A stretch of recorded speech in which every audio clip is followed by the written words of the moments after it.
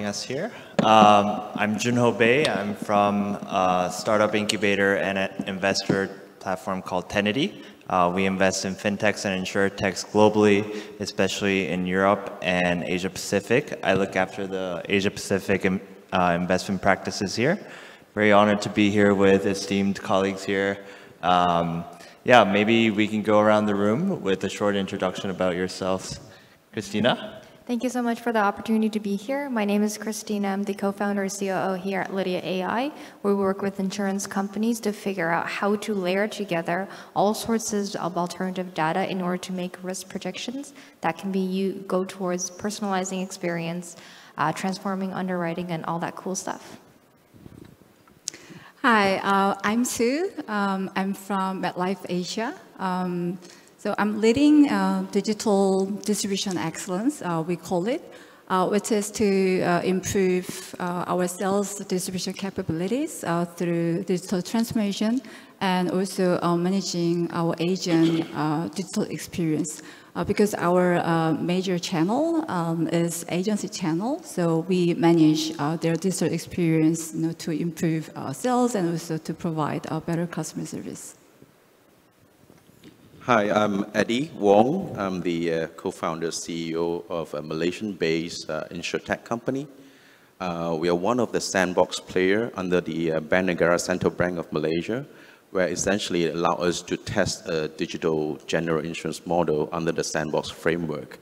Uh, we um, disrupt or positively disrupt in the area of distribution, uh, on-demand insurance, P2P, uh, and also in the micro insurance space. So been operating in the sandbox for the past uh, 18 months now, is doing quite good. And we also uh, collaborate with uh, global insurers uh, in Malaysia. And also we have lately doubled into the UK market. Uh, I'll tell more about that during the conversation. Yeah, thanks, Eddie. Um, I'm indeed Alan Marriott. I uh, chair the technology segment of Aon's strategy and technology group. Uh, this topic is very dear to my heart. Um, I started and founded a fintech back in uh, 2012 called Tyche, and uh, following the usual, very well-trodden path, um, managed to join Aon in uh, March 2022, where we help our very wide client base uh, gain access to and use and to gain insight from the massive expansion in data that we all see in, in, in, in our industry. Thank you. Yeah, thank you for the introductions. I think we'll get a lot of um, variety of experiences from this panel. Uh, we'll kick you off with first question. So go into the basics. So why do some traditional insurers uh, prefer to innovate with startups and some do it themselves? So maybe I'll get some uh, insights from Alan yourself on what different positions that traditional insurers have. Yeah, thanks, Junho. I mean, obviously, this is a very wide topic, and I could be here for an hour talking on this alone. I've been promised to only do two very quick or three very quick points. I think the first point really is about risk.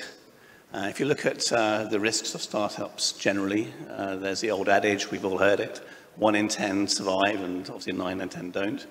And I think the, the point is, is that um, you need to take that risk early, and sometimes the appetite for that sort of innovation and risk is something which a, a larger corporate can't, can't face. Um, sometimes it's the other way around. But uh, I think for me, it's uh, perhaps the main driver for how you, uh, how you get investment. And it's not just money, it's the people, it's the human capital. Sometimes those staff members you need to innovate uh, are less attracted to the standard paycheck and would like to be involved in the company at a more equity level. So I think it's all about the people and the team that you um, work with, and attracting that team is absolutely essential to getting the startup off, off the ground. So there's no easy win. I think there's always a, chance, but for, a, for you know, a, a very large company, the ability to invest in a fintech sort of bypasses that first risk point, and you can jump in when the tech has been proven. Uh, that's probably the key for me.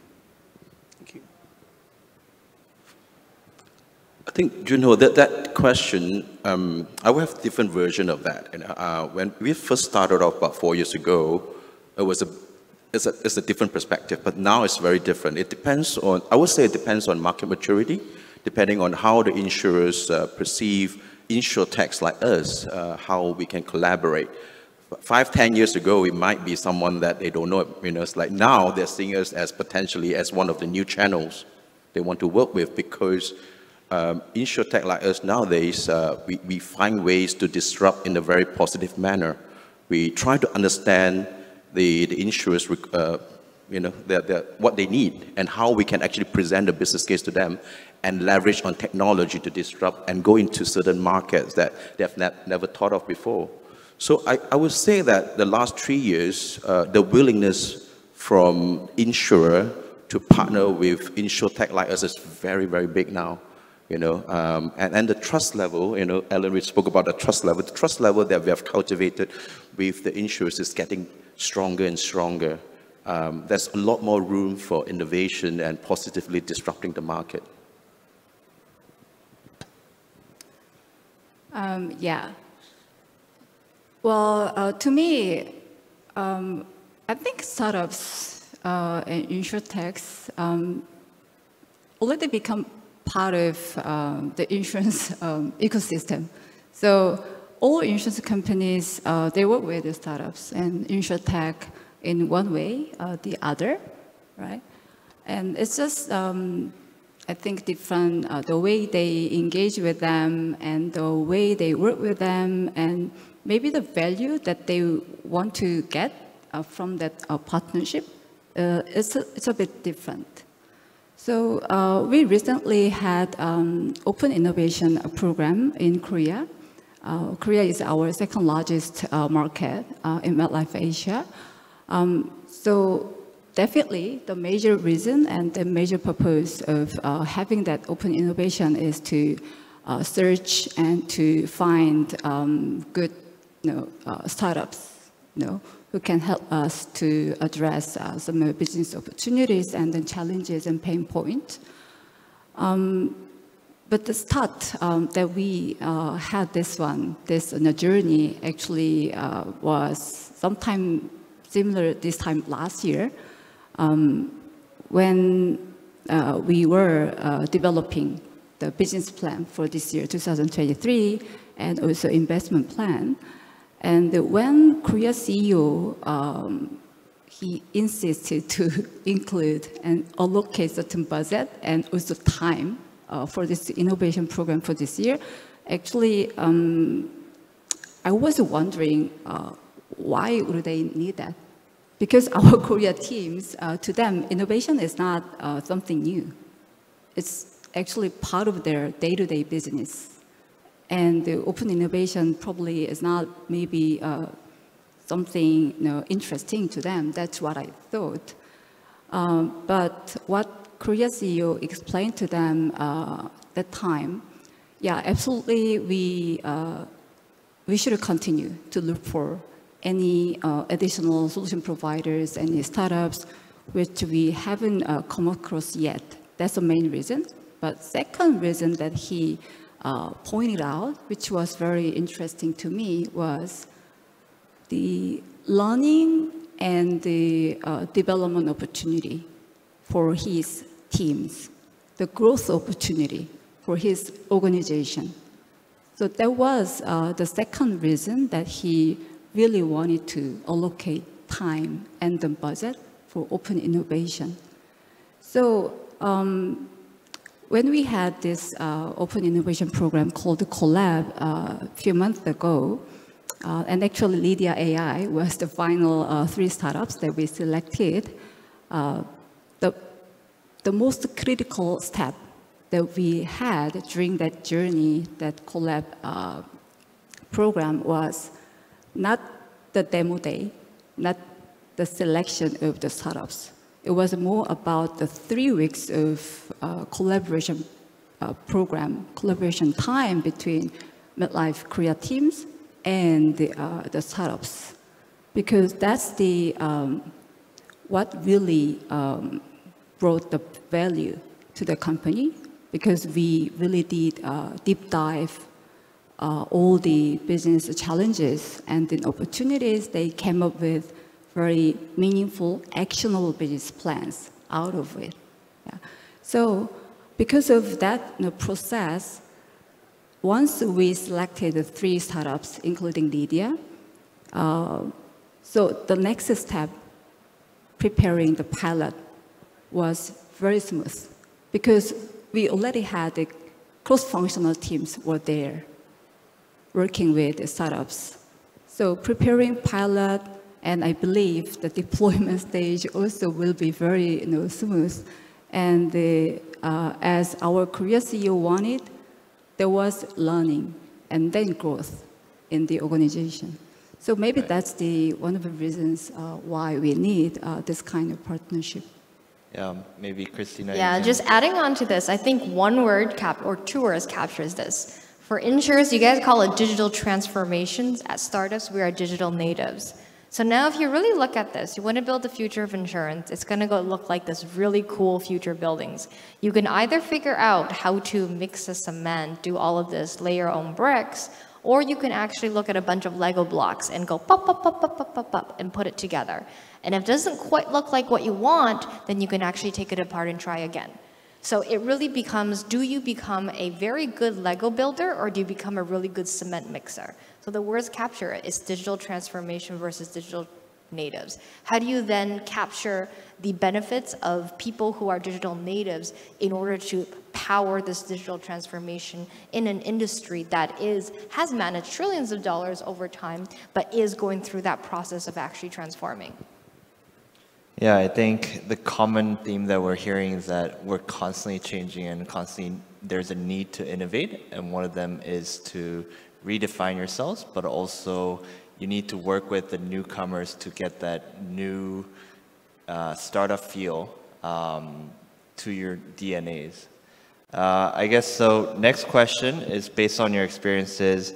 How did the startup insurance partnership differ in Asia? given that we have such an international crowd, uh, how does it differ in Asia versus in any other markets? Mm, maybe I'll start with Eddie.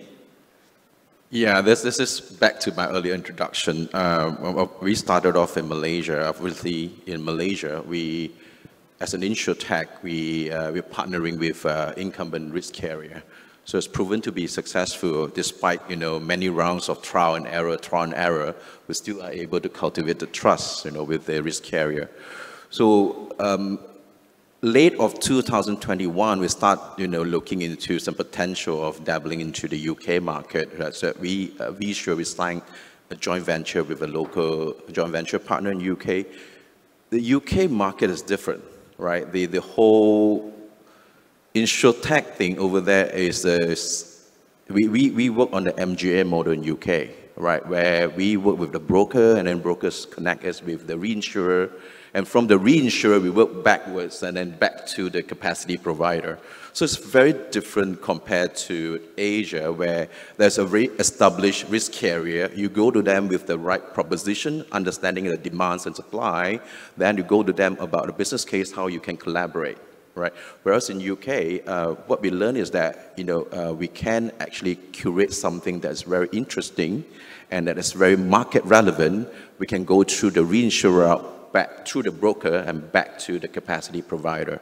So uh, that, that's the slight different uh, perspective that I can share uh, comparing Asia and UK. Yeah. Christina? Well, the first thing that comes to mind for me is actually the heterogeneity of markets in Asia. That means when you think about partnerships in Asia, it's not really partnerships in Asia. It's probably partnerships country by country by country by country.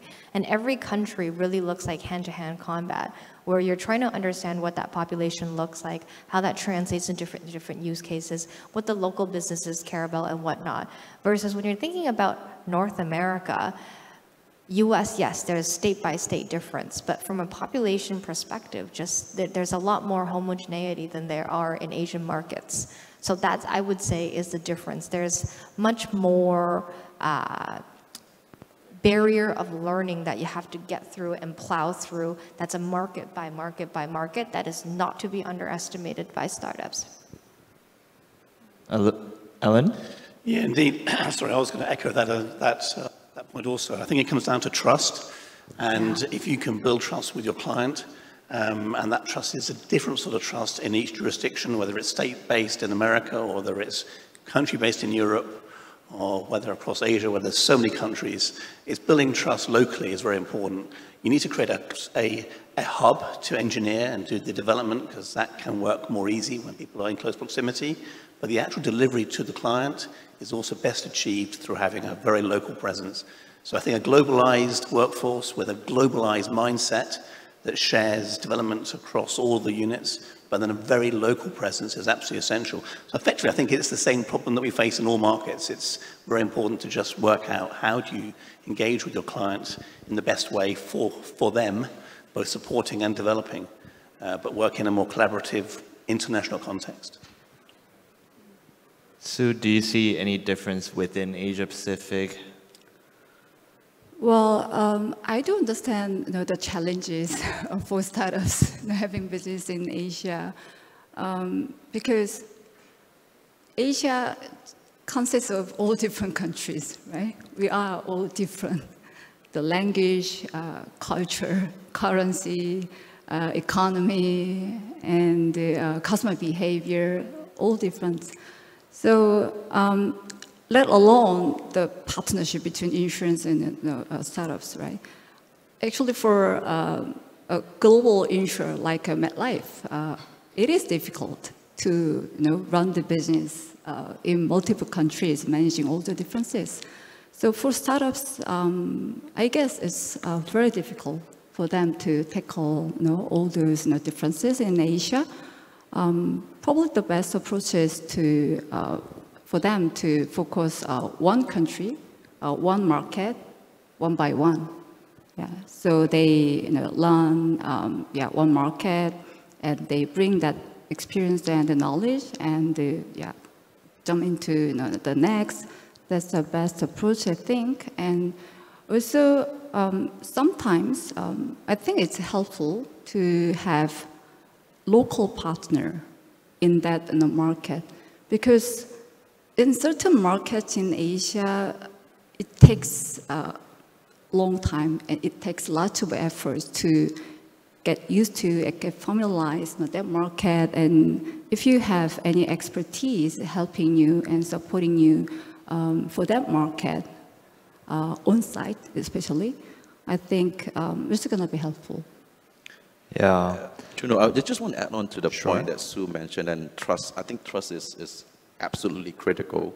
Like, you know, the, having a partner on the ground, like, you know, the UK ventures, the product design is Asia, technology is Asia, but we have no clue how the market will behave in UK.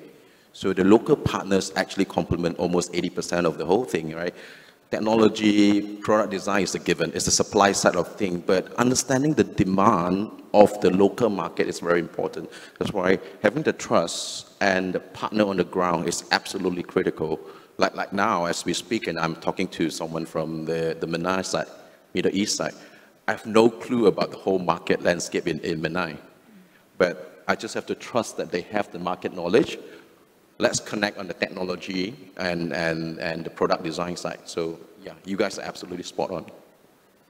And I think this is a great place to meet those partners, um, to scale your products to different countries. And I think this last question is quite interesting. So from all your diverse backgrounds and your prior experiences, what are some tips on creating product, uh, productive startup, insurer kind of partnerships Especially, we want to see more startups kind of working with traditional insurers and going to more deployment stages. So any tips, any suggestions how to go about it? Uh, I'll start off with Christina. Yeah, I would start with like on day zero, we need to figure out how what this looks like post implementation how do you actually deal with the change management end of things? Like, I like to say technology is actually super easy. We can train up lots of machine learning models, but at the end of the day, how do these models actually integrate into processes? Who are the people that are going to use it? Is IT prepared to actually port you in into their stack? What, what does that actually look like? Start knocking on the right doors from day zero when you're, when you're even in maybe a very limited statement of work, very limited pilot environment. That makes sure is that when people are ready for the tech itself because tech is tech is tech. If you want to transform, there's a very big human element of it that, you know, a lot of startups, we're, we're, we're a different type of organization. We don't quite understand that. And the second thing to really align that is like something Sue and I have been talking about, which is KPI. Yo, what does success look like? And what does success look like this year? What does it look like post deployment? What does that look like afterwards? how much do we success do we need to show in a limited capacity that makes insurers actually willing to take that leap of faith to do more with you. And if we're not clear on that, and whatever KPIs that are set up isn't driving like the P&L forward at the end of the day, then you know what are we doing here? It's just going to be like another cute project that has a lot of documents associated with it's going to be living in the abyss. Yeah, maybe I'll jump to Alan. Uh, given that you've gone through the whole spectrum of even getting acquired by a, a, global company like Aon, so what kind of tips do you have to follow up on that? So, so, so we have the hour, yeah, and roughly no. Um, I think I've got a few, few, few points. They're quite un, I think related, but the first one is obviously technology. I mean, we are a technology operation um, and the question you ask is, and this is an, maybe two years ago, the old adage, you know, you need um, a problem seeking a solution, not a solution seeking a problem. That would have been true even two, three years ago. But we've seen the sheer speed of innovation recently with you know, generative AI and other technologies, where actually you've got technology moving ahead of where the problem space is. And we're looking for now finding ways of applying that great technology in problems we haven't yet explored. So it's, it's going a bit, you know, head over uh, tails. So that's the first thing, is that we've got to make sure we apply the technology to the business area properly and, and fast, and respond quickly. Um, the second one is strategy, and we've all uh, been involved in technology startups at some phase. Um, it's important to create or understand what you're trying to achieve at the beginning, to your point. You know, you're building technology which is a Lego block within a bigger ecosystem. Very important to understand why you're doing it. How do you fit into the ecosystem goal in, in the end, end state? So having a plan at the beginning for what your company is trying to achieve is really, really important. The next one is culture.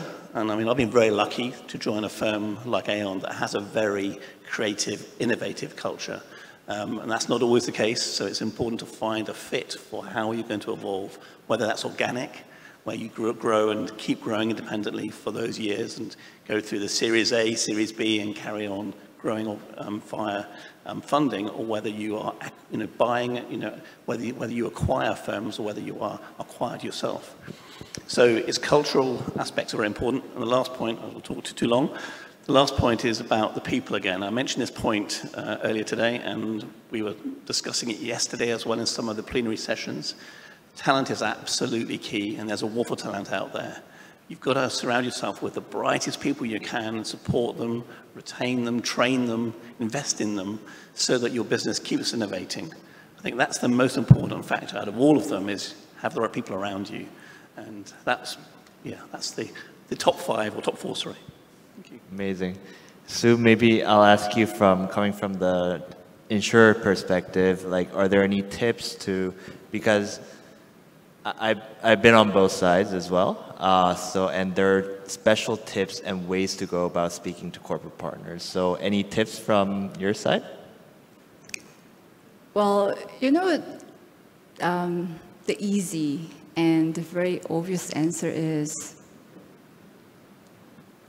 you succeed in pilot, right? then you can uh, go to deployment stage. Um, yeah, that's the easy and the very obvious answer.